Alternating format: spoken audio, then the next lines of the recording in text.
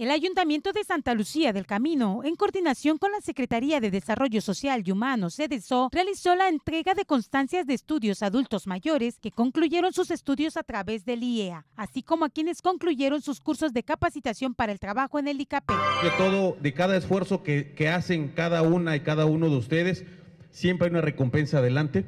Hoy es muestra que el gobierno del Estado, conjuntamente con los municipios, se está dando muestra de su esfuerzo que hacen. Agradezco mucho al licenciado Raúl Bolaños Cacho su presencia y además su apoyo a Santa Lucía del Camino y a los demás municipios también.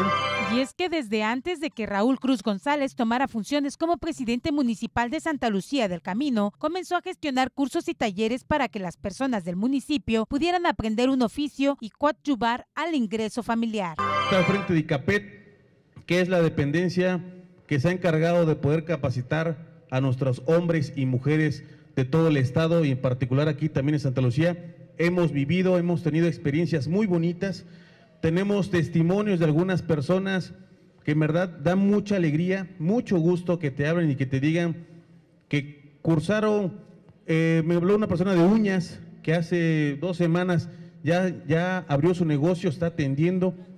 Por ello, el edil fue reconocido por el secretario de Desarrollo Social y Humano, CEDESO, Raúl Bolaños Cacho Cue, debido al interés que ha manifestado por su pueblo.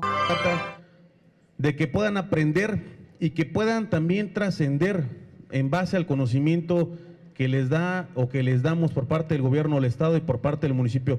Muchísimas gracias, sean todas y todos bienvenidos. Asimismo, reconocieron la entrega que los pobladores han tenido para aprovechar los cursos y que muchos de ellos, gracias a esto, han podido abrir sus negocios y generar fuentes de empleo e ingresos para sus familias. Con imágenes de Manuel Gris informó para MBM Televisión, Alexi Espinosa.